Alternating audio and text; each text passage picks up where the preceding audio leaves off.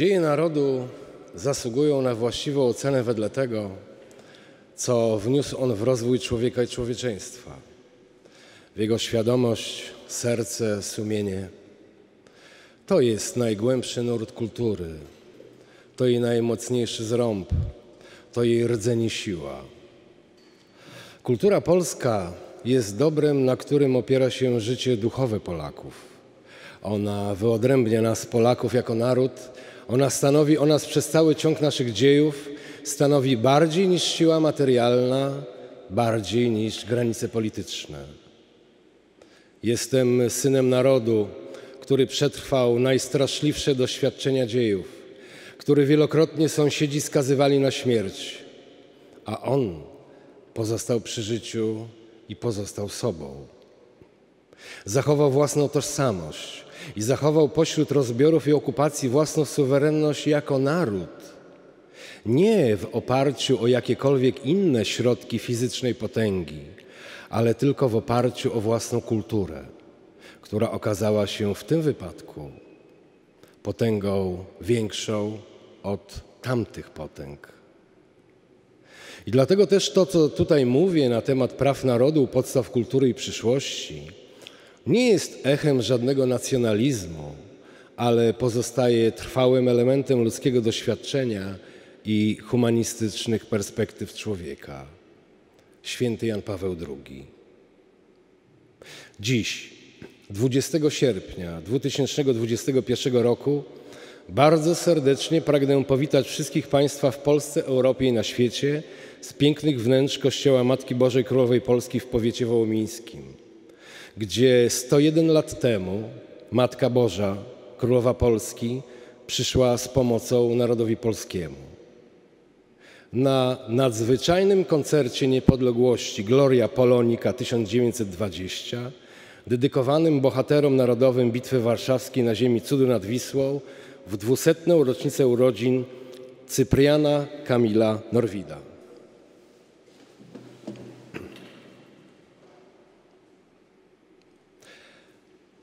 Koncert ten jest realizowany dzięki rządowemu programowi Niepodległa oraz wspierany przez Fundację Polskiego Górnictwa Naftowego i Gazownictwa, Fundację Polskiej Grupy Energetycznej, Fundację Polskich Kolei Państwowych i Fundację Agencji Rozwoju Przemysłu.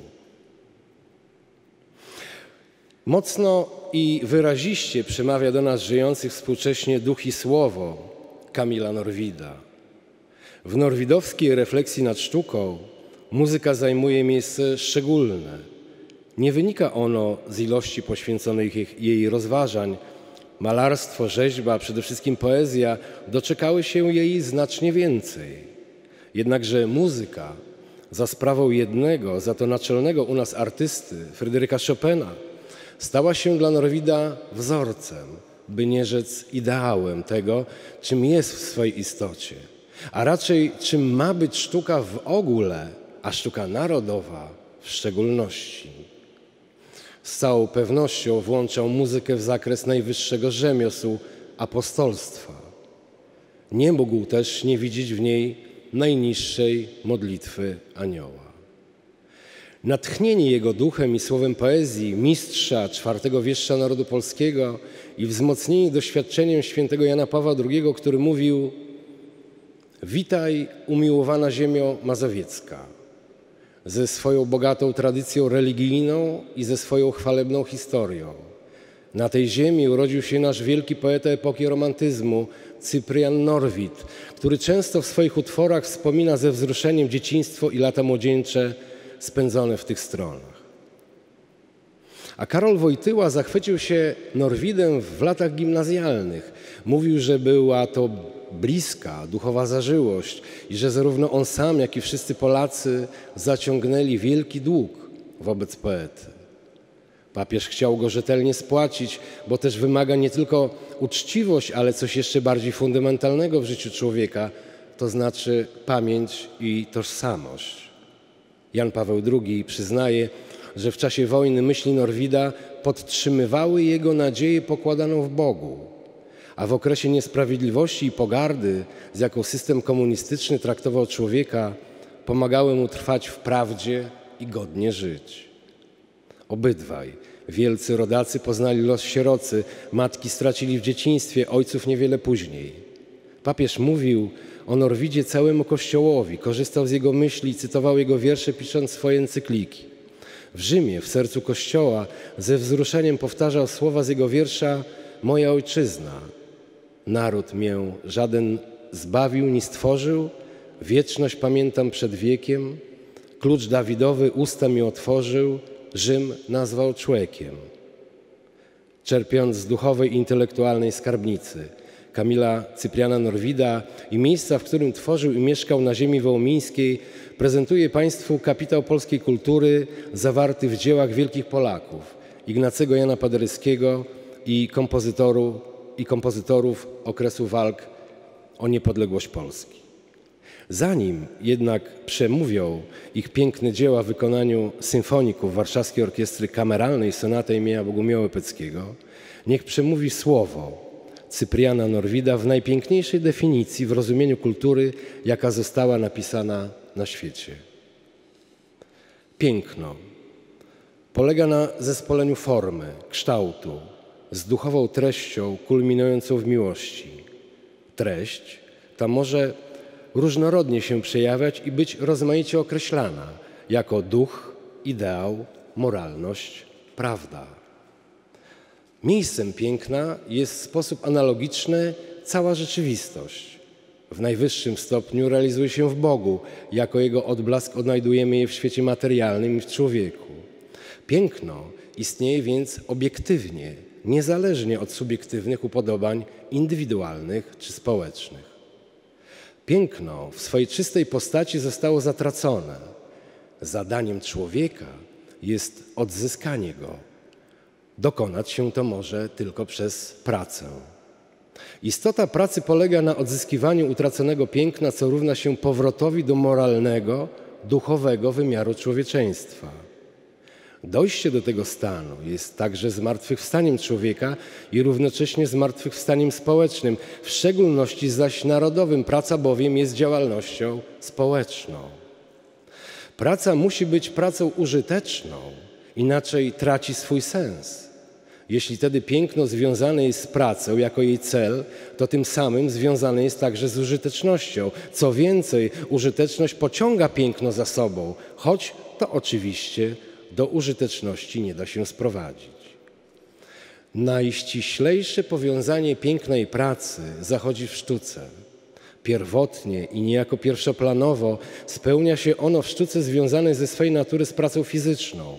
Może jednak oderwać się od niej i nie zatracając genetycznych z nią związków, stać się czymś w pełni autonomicznym, rządzącym się własnymi prawami. Zadaniem sztuki jest objawienie prawdy w sposób, w jaki tylko przez nią, to znaczy przez sztukę, może się dokonać poprzez realizację odzyskanego piękna. Tak rozumianą sztuka staje się łącznikiem między rzeczywistością ziemską a transcendencją. Jest najbardziej wysublimowaną postacią ludzkiej pracy, która skierowana ku transcendentnemu pięknu oddaje mu hołd poprzez najwyższe wartości jakie w świecie zdołała osiągnąć. Cyprian Kamil Norwid. Żołnierze. Po upadku Polski każde pokolenie zrywało się do walki o utracony byt. Każde pokolenie stało na pole bitwy żołnierza jako przedstawiciela ojczyzny, by krwią serdeczną wpisywał w księgę dziejów: Jeszcze Polska nie zginęła. Ulegali pod przemocą, szli jak wierni żołnierze na śmierć, zaludnęli mroźny Sybir lub ginęli w tułacze w szerokim świecie. Po ostatniej klęsce w 1863 roku zaległa nad Polską czarna noc niewoli, noc beznadziejna. Zdawało się, że już nowe pokolenie nie odważał się stanąć do walki, że zaborcy triumfowali na zawsze. Imię Polski zostało wymazane z pamięci świata a naród szedł na poniewierkę jak każdy niewolnik. Dziś po raz pierwszy w wolnej, zjednoczonej ojczyźnie ślę wam wszystkim jako najstarszy żołnierz obecnego pokolenia i wódz naczelny wojsk polskich swe pozdrowienie. Żołnierze, krew waszych przodków pisała w dziejach smutne nie zginęła. Wy, szczęśliwsi krwią swą piszecie żyje i zginąć nie może. W przyszłą sobotę nastąpi złożenie w grobach królewskich na Wawelu zwłok marszałka Piłsudskiego, który poza wieloma innymi zasługami zapisał się w dziejach wskrzeszonej Polski jako pogromca zbrojnego bolszewizmu, co chciał podbić Polskę i wcielić ją we światową Republikę Sowiecką. Zwycięstwami dni 15 i 16 sierpnia 1920 roku stanął marszałek Piłsudski w szeregu dziejowych obrońców wiary. Pod jego dowództwem zwycięski czyn bohaterskiej Armii Polski, zwany cudem nad Wisłą, osiągnął znaczenie Lepanta i Wiednia zwycięstwami nad Turkami w roku 1571 i 1683. Za to należy się Józefowi Piłsudskiemu wieczna wdzięczność nie tylko obywateli polskich, lecz całego chrześcijaństwa.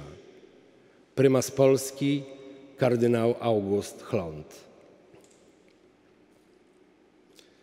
Propozycja dzisiejszego repertuaru została przygotowana tak, aby ukazać wielkiego ducha polskości, jaki został zawarty w, dzieja, w dziełach Ignacego Jana Paderewskiego i kompozytorów okresu walk o niepodległość Polski, a którzy swoją twórczością tak wiele razy podnosili na wyżyny naszego polskiego ducha narodowego. Prezentowanymi dziełami muzycznymi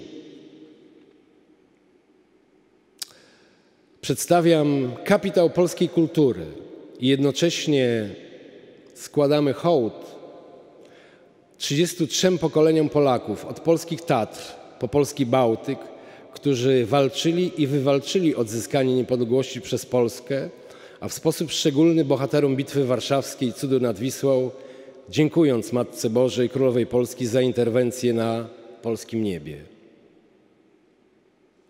Dzieła zostaną dzisiejszego koncertu zaprezentowane w następującym porządku. Suita Giedur na orkiestrę smyczkową Ignacego Jana Paderewskiego, Menuet Giedur, op. 14 numer 1 na orkiestrę kameralną Ignacego Jana Paderewskiego, uwertura S-dur na orkiestrę Ignacego Jana Paderewskiego i wiązanka pieśni żołnierskich na orkiestrę w układzie i aranżacji świętej pamięci Bogumiła Łepeckiego, powstańca warszawskiego, mojego taty, patrona orkiestry.